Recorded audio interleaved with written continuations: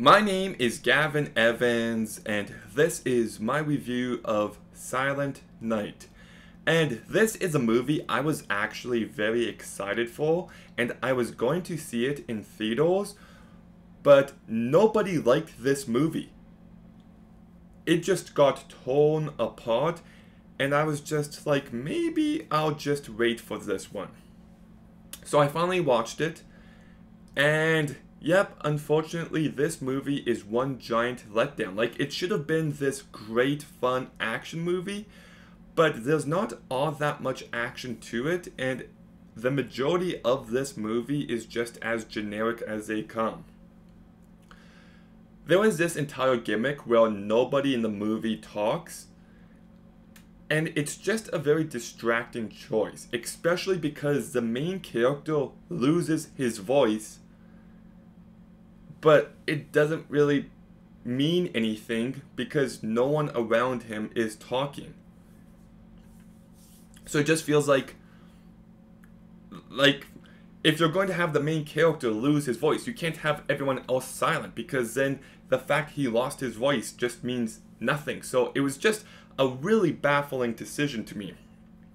Like there were moments where I'm like, okay, he would definitely say something now, but then I'm like, oh wait, he can't. I don't know. It, it, was that was just a terrible. Like they totally messed that up completely.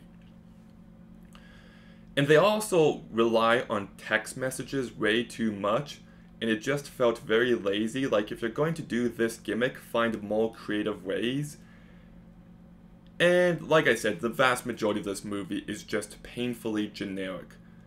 Like the first hour of this movie could have been like 10 minutes of setup and then just be like one montage. We didn't need to dedicate an entire hour to him getting ready for this fight.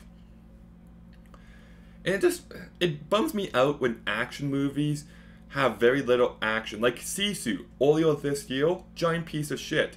It marketed itself as John Wick in World War II, and there was barely any action in that movie. And you've got a bit more action here, but still, like if I want to watch a drama, I'll watch a drama. If I want to watch an action movie, then give me what I want with this genre. Just baffling. And then when the action actually kicks in, the last act, it's pretty awesome to be honest. There was a scene on a stairway which just was fantastic and I loved it. And it just made me more frustrated at the rest of this movie.